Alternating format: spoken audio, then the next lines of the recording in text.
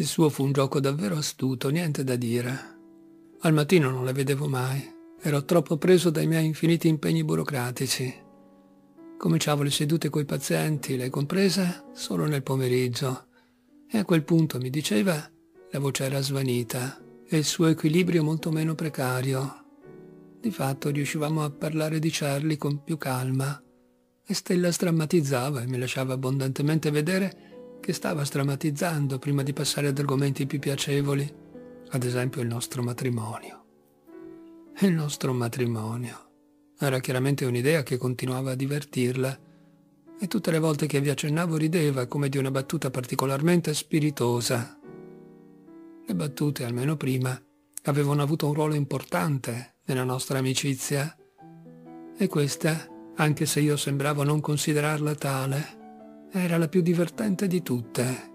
Stella aveva sempre creduto che io fossi omosessuale. Lo sapevo bene. Doveva pensare adesso, magari lo è, magari più che un matrimonio nel vero senso della parola, Peter mi sta proponendo una sistemazione con i svolti terapeutici. Si immaginava la mia casa, il mio giardino, e credo che senza neppure accorgersene cominciasse ad anelare di andarvi, perché significavano tutto ciò di cui in fondo aveva bisogno. Pace, eleganza, comodità. D'improvviso sentiva di volere disperatamente la vita che le avevo offerto. Adesso la mia unica preoccupazione era che cambiasse idea. Per la prima volta da anni mi sorpresi a provare un filo di insicurezza. Immaginavo Stella pensare, tutti i giorni Peter, Peter a colazione, a pranzo e a cena, io e lui sotto lo stesso tetto, a condividere le stesse stanze, tutti i giorni che Dio manda in terra. Ma subito mi rassicuravo. Non poteva non rendersi conto, pensavo, che la vita con me sarebbe stata sotto il segno del divertimento colto e sofisticato. Sapeva di non dover temere la sinistra scoperta di laide abitudini piccole crudeltà, durezze impreviste. Sapeva che sono una persona civile? Sì, si poteva vivere con me, ma sapeva un po' meno come sarebbe stato venire a letto con me. Questo era un campo che riservava immancabilmente sorprese e di rado piacevoli. Riuscì a farmi credere che avrebbe potuto essere all'altezza delle mie aspettative. Riuscì a farmi credere che mi avrebbe fatto felice, conquistando al tempo stesso per sé un minimo di serenità. Non sarebbe stato difficile, visto il tipo di uomo che ero e anche, perché no, quello che possedevo. Il benessere rende tutto meno degradante, mi disse. Avevamo visto entrambi che cosa succedeva in un ambiente squallido. Oh, l'amore ardeva, certo, ma di un fuoco tremolante, sempre sul punto di spegnersi. Un amore come quello che Stella aveva vissuto non avrebbe mai trovato posto nel tipo di vita che contemplavamo. Era un inferno in confronto al raffinato tepore che noi due intendevamo tener vivo. Credevo pensassimo entrambi che quelle emozioni violente tendono, per loro natura, a divampare senza freni per poi estinguersi dopo aver divorato ciò che le aveva alimentate. In ogni caso, tutto questo ormai era finito, o comunque Stella riuscì a farmelo credere. Quando mi disse di aumentare la dose di sonnifero, le risposi che sarebbe stata molto meglio senza sedativi e che continuando a rimuovere i sogni avrebbe bloccato un materiale inconscio di cui aveva invece assoluto bisogno per elaborare la morte di Charlie. Stella si spaventò moltissimo, tanto da arrivare sul punto di gridarmi non c'è niente di rimosso, ma ricacciò il grido in gola. Disse invece che siccome di giorno i ricordi non abbandonavano neppure per un attimo, sperava le venisse concessa una tregua, almeno durante il sonno. Come vuoi, le risposi, non insistetti su quel tasto, non la forzai. Purtroppo non detti neppure molto peso alla richiesta, e naturalmente avrei dovuto. In tutto questo, infatti, un dato mi sfuggì, e cioè quanto le costasse recitare, attanagliata com'era da un dolore implacabile, che non le dava tregua e di cui io, concentrato solo ed esclusivamente sul senso di colpa, non colsi la vera natura. Decisi di non aumentarle i sonniferi, le dissi che la dose era già abbastanza alta.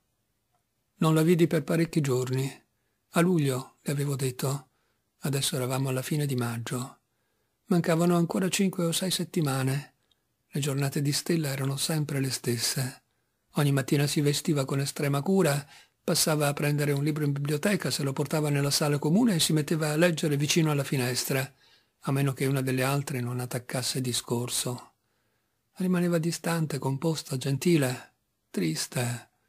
Una paziente che sta per uscire viene trattata da tutti in modo molto particolare. Intorno a questo strano ibrido, non più una malata, non ancora una donna libera, finisce sempre per crearsi un'aurora di pacata celebrazione, perché una paziente che esce è motivo di vanto per il personale e di speranza per le sue compagne. Stella era in ospedale da poco, ma aveva sempre cercato di conservare la sua dignità, guadagnandosi così il rispetto generale. Le altre le facevano gli auguri e quando le chiedevano dei suoi progetti lei rispondeva che avrebbe vissuto a Londra con la famiglia di sua sorella. E se anche qualcuno si era chiesto perché nessun membro di quella famiglia fosse mai venuto a trovarla, aveva tenuto quel dubbio per sé. Stella, dal canto suo, non mi domandò nulla sull'autorizzazione necessaria al nostro matrimonio. Ogni pomeriggio me la portavo in ufficio e in quella stanza grande e confortevole passavamo un'ora a discutere dei nostri progetti, passati nel frattempo da un matrimonio in forma strettamente privata a un viaggio di nozze in Italia dove intendevo mostrarle Firenze, che conoscevo bene, e Venezia, che conoscevo meno. Avevamo deciso di partire a fine settembre, quando fa meno caldo, e i turisti sono tornati a casa. Poi avremmo cominciato la nostra convivenza, o meglio la nostra rarefatta comunione spirituale. Un pomeriggio le dissi di non condividere l'opinione corrente secondo cui il matrimonio risolve il problema del sesso. Per me il matrimonio, o almeno il matrimonio come lo intendevamo noi, risolve il problema della conversazione. Ma Stella, come vedeva la prospettiva di un matrimonio fondato sull'amicizia, sembrava anche a lei che avrebbe risolto il problema della conversazione. Io credevo di sì. Credevo che a questo pensasse quando sedeva sulla sua panchina, vestita di scuro, con quell'aria di malinconica rassegnazione, perduta nei calcoli del suo cuore. Non trascuravo affatto l'ospedale. Al mattino partecipavo alle riunioni e sbrigavo le pratiche. Nel pomeriggio mi occupavo dei casi che seguivo di persona. Visto che stavo per andare in pensione, volevo preparare i pazienti alla mia partenza.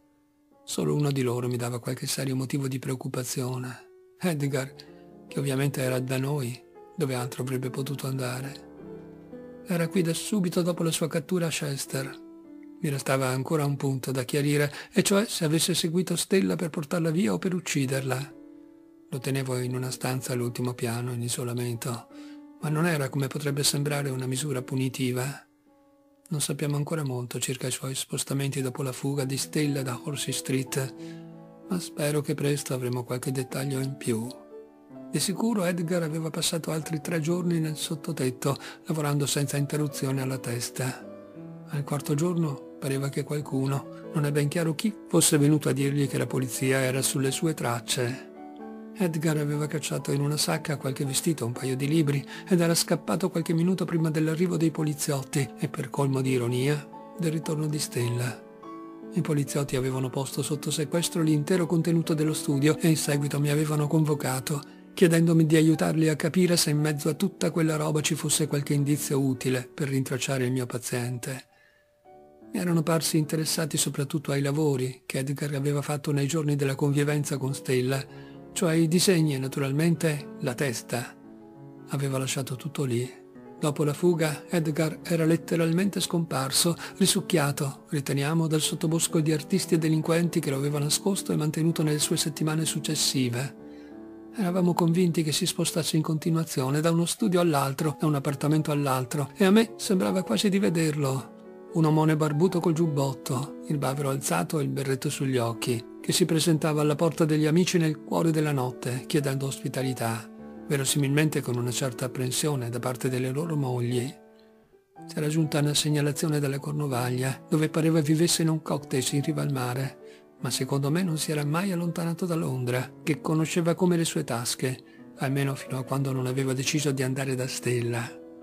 Quanto a Nick, Fu fermato per un interrogatorio e rilasciato su cauzione. Era figlio di un giudice. Edgar era stato riammesso in ospedale in aprile e da allora si era sempre rifiutato di parlarmi. Fosse stato per me, non lo avrei certo tenuto a languire in isolamento, ma non mi dava scelta. Francamente era una bella seccatura.